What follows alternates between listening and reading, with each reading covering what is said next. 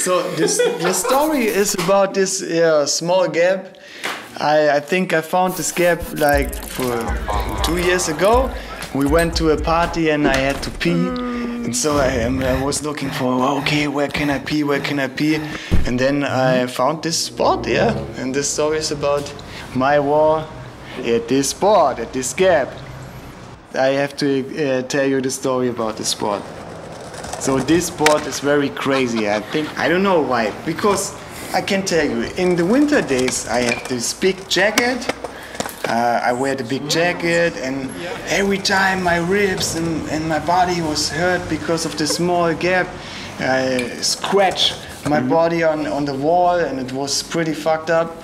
And uh, it looks not so gnarly or rough, but it was really rough on my body, yeah?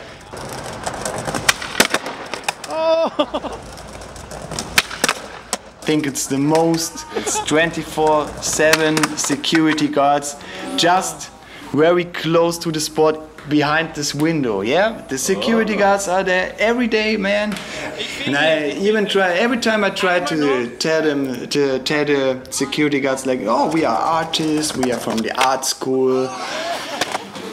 Because if you only watch for a few seconds the clip, you can say, for example, wow, it's not so hard, this sport, but it's very hard because you see the blind stripes on the ground. And I made it sometimes if there wasn't this fucking blind stripes on the ground. But you see, I made it, yeah, I made it.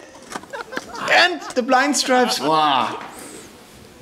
Yeah, actually it was a make, but so this clip is like I think six months later you can see I wear summer dress. You see the bucket head, no no winter jacket. Um, try six months not to eat so much. I went there with Simon. It was like two or three weeks before the uh, 33 oh. premiere Whoa. was. And then suddenly, it was super crazy. It was the easiest thing I've ever done. I did this ride like thousand times.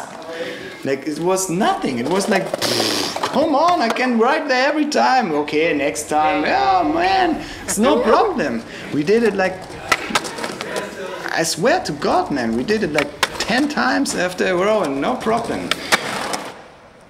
No, listen, hey, listen, see, see, man.